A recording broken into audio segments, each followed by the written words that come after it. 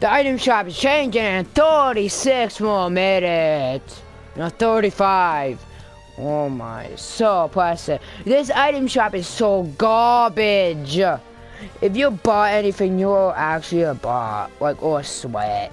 Like, why would you buy any? Like, I guess some people who would buy skins if they don't have it, but like, why? Why would you buy some of these skins? They're actually kind of, they're actually all garbage.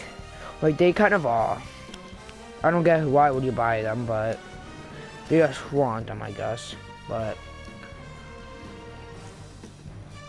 okay then.